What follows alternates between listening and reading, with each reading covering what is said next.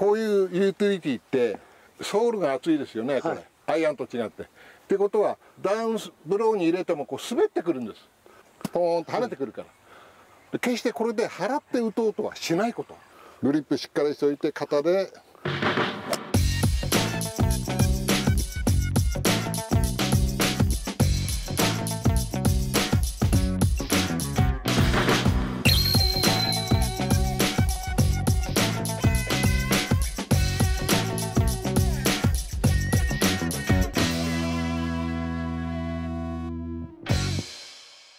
さあインコース15番ホール434ヤードのパー4でございます、えー、コースの方解説なんですが、えー、キャディーマスターのゴーマさんにお願いいたします。よろしくお願いします。はい、お願いいたします。さあこちらどんなホールになりますでしょうかね？はい、えー、長めの打ち下ろしのミドルホールになりますが、あの右の斜面を嫌がってティーショットを打ちまして、はい。左の OB であったりウォーターハザードに捕まる方がいますので、ティーショットそちらをご注意ください。はい。そうだね、グリーンの方はどんな感じですか？はい、えー、と合わせてこちらの12番のロングホールとのワングリーンで大きくなってますので、まあ、ピンポジション間違えずにグはいはい。リーンを狙っていただきたいと思います。中にすごいあるんですよね。ピンポジションをはい。間違えて打っちゃう人が、うん。うん。これしっかりね、はい。セカンドの距離をジャッジしてね、はい。やると大丈夫でしょはい。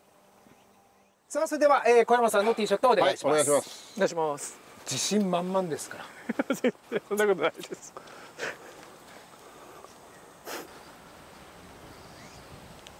願いしょお最高のとこだよ。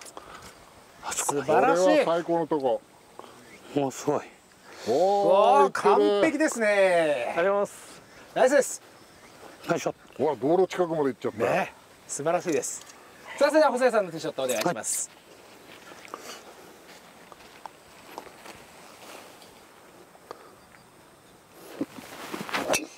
お願いしおナイス。ますでしょいやお二人ともいいですね。OK ナイスショットです、さあそれでは青山プロのティーショットになります。どこ打といやもう小山さんのところはベストポジですよね。うはい。あそこに言ってくださいって言った方がいいですあそこの隣でお願いします。何？俺は右の林越えだ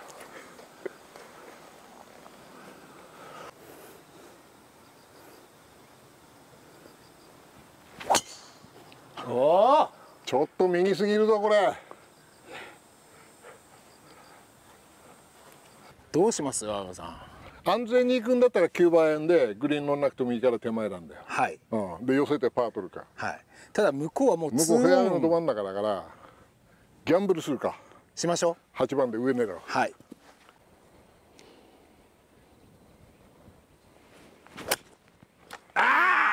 くそ。絵だしゃあない。距離が133ヤード。はい。はい。で細谷さん何番ですかこれは？これはユーティリティの30度。はい。8番ですね、8番だね、はい。一番。うん。じゃあ行きましょうか。大体32度ぐらいが8番だからはい、はい、どうぞ。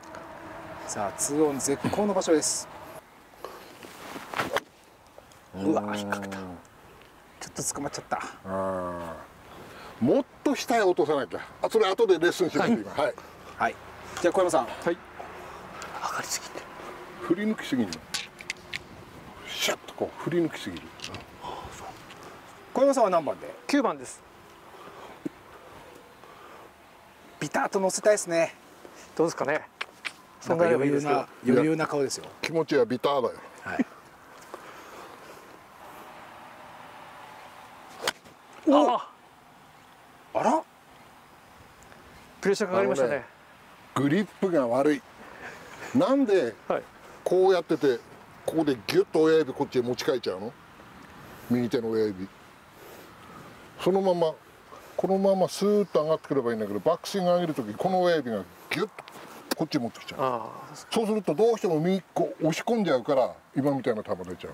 全てのクラブそうなんですがこのグリップっていうのは体と道具を結ぶ唯一の接点なの。あはいここはエネルギーを発生したらダメ。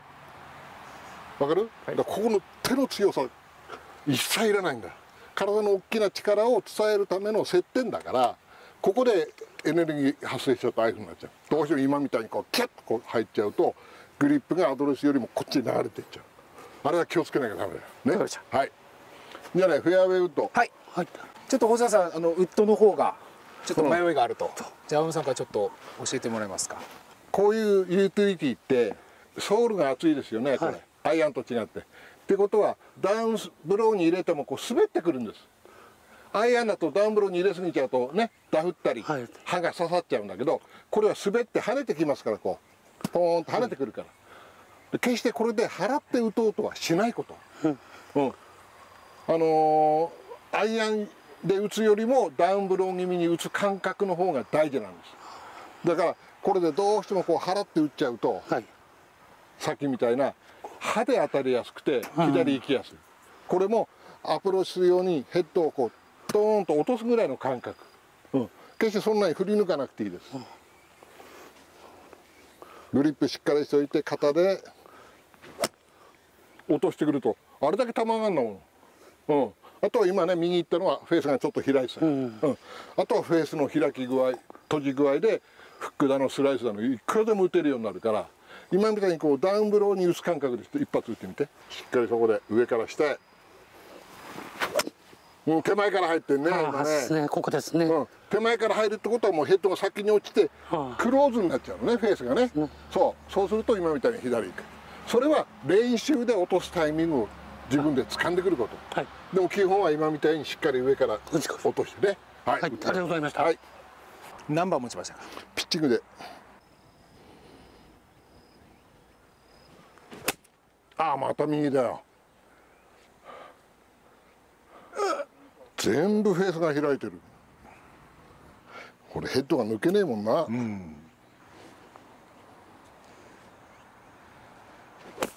おおナイス。もう精一杯。はい。細田さん自分でやったので自分でちゃんと処理しないとダメですよね。わかりました、はい。責任持ってそうですね。はい。処理します、よろしいですか？まだパーありますから。すごい場所だな。おおうまい。ナイスナイス。おおこれはうまい。ナイスです。ああの方向ですよね、でもねもう出すのは。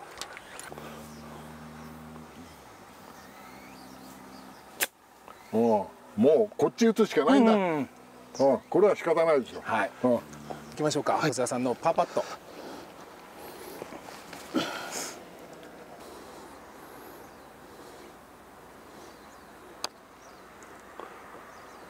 伸びろ。うわー惜しい。ナイスです。じゃあお先どうぞ。はいナイスインです。はい。さあじゃあ小山さんパーパット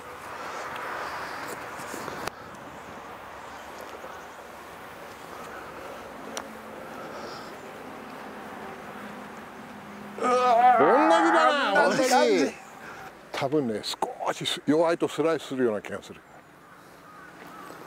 ほとんどストレートでいい。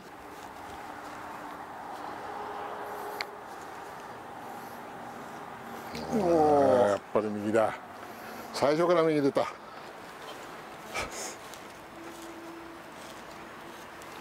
ああダボだ。はいお疲れです悔すぐしい。すぐダブルボギー来るんだここのコースは。